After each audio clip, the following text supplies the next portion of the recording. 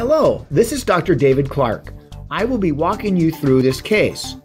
Please make sure to read the article from Oral Health Journal, which is available at the BioClear Matrix website. The BioClear 360 Veneer Matrix is available as a complete kit. Dentists are required to attend a one or two day BioClear certification training course.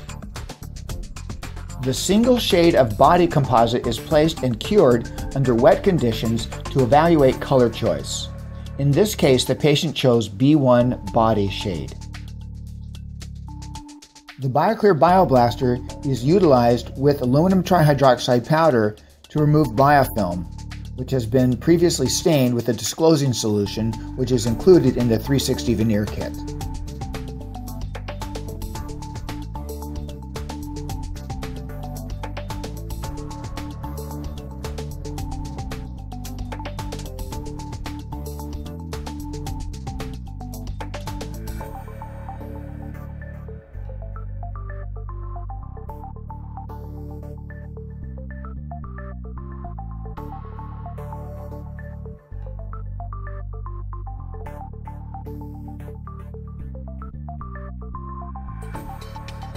Old composite is removed with a coarse flame diamond burr.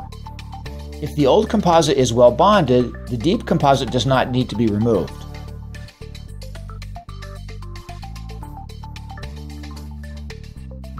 In this case, the old composite was leaking, so I removed all of the old composite.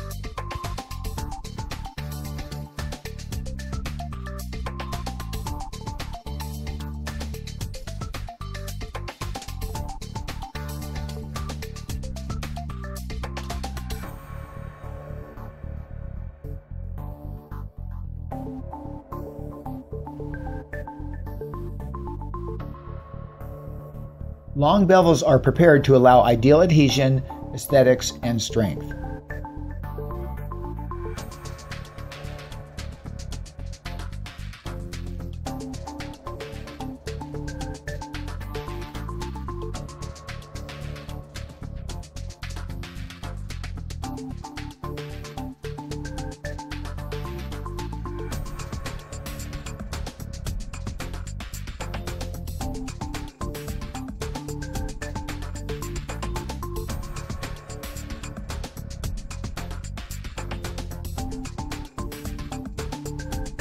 We will now briefly shift to a newer case with updated matrixing and filling techniques. Notice the patent pending cervical notch of the BioClear 360 veneer matrix that corresponds to the patient's papilla. This allows full seating and an ideal seal with the matrix. Here I am trimming the palatal of the distal matrix. The palatal zenith was shorter on this patient than the facial zenith and would not have allowed full seating. So in these cases, it's important to trim back the palatal portion of the matrix slightly.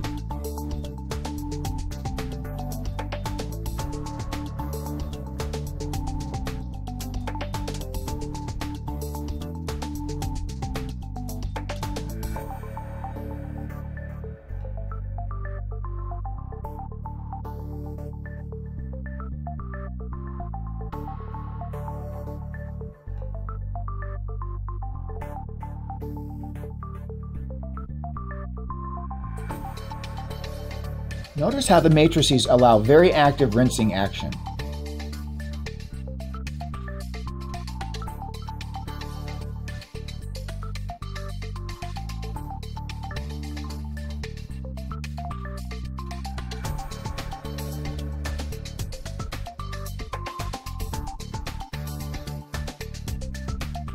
Make sure to massage the adhesive into any dentin areas for a full 20 seconds for ideal adhesion and reduction of postoperative sensitivity.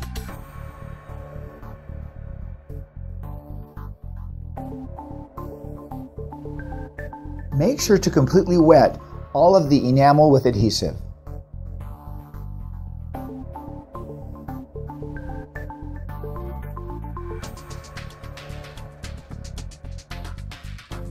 The adhesive is air thinned, driving off the solvents, which also allows the adhesive to completely wet the tooth, even in deep interproximal areas.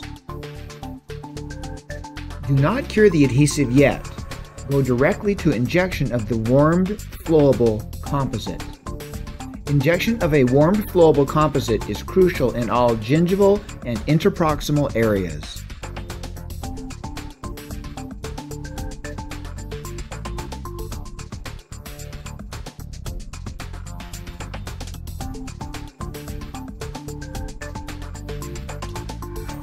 Next, the regular paste composite, which is also heated, is injected directly against the tooth and into the flowable composite to allow ideal flow.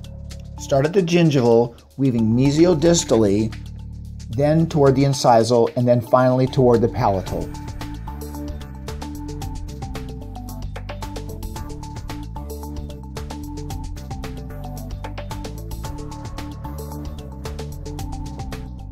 Two to three millimeters of excess composite on the incisal is a safe volume to avoid having a void.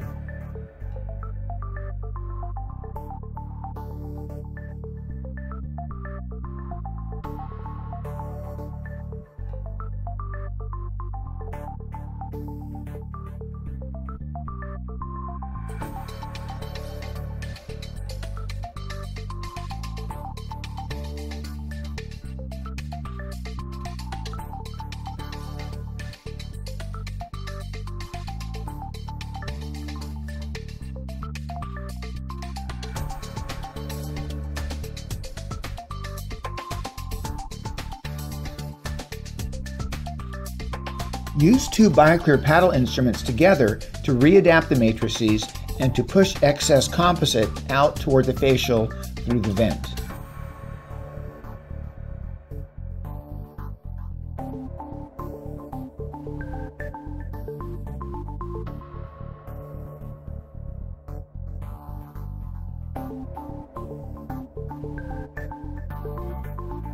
Last minute changes in incisal shape are made right before light curing.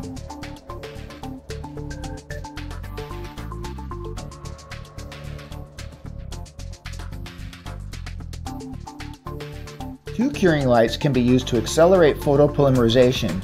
Make sure to use air to cool the tooth while you are light curing.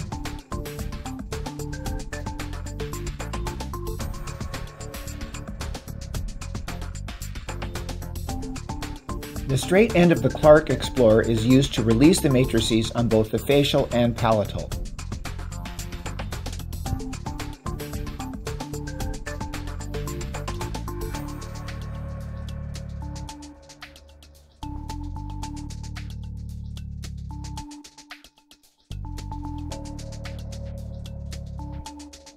The hemostat is then used to spin out the matrices. The coarse flame diamond burr chops off the vestige.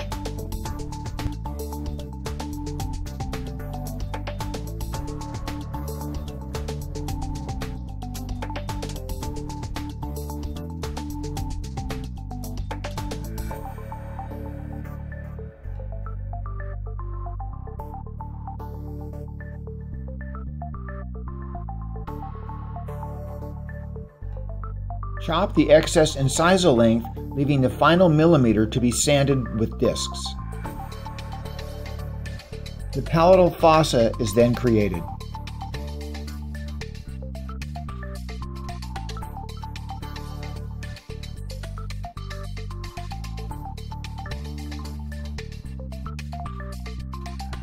The incisal edge is brought closer to anticipated length, but final shapes are made when all of the teeth have been overmolded. This is for both efficiency and symmetry reasons.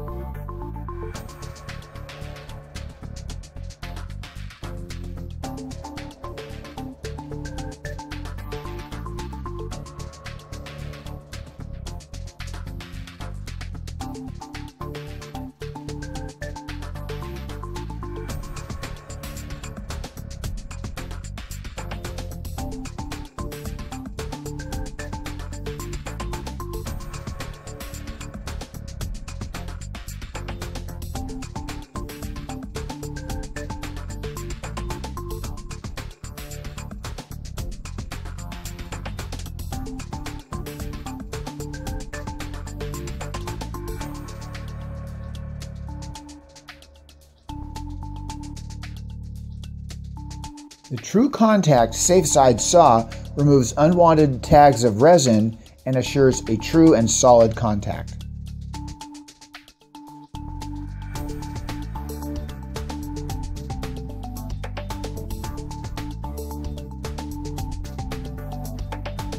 Use narrow composite strips. Use the coarse side and then the fine side to smooth the gingival margins. BioClear's unique fit allows you to do very little sanding of these margins.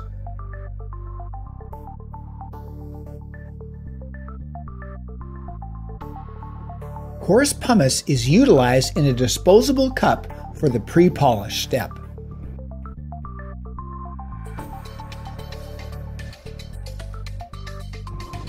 The final step of polishing is the use of the Shape and Shine diamond impregnated cup.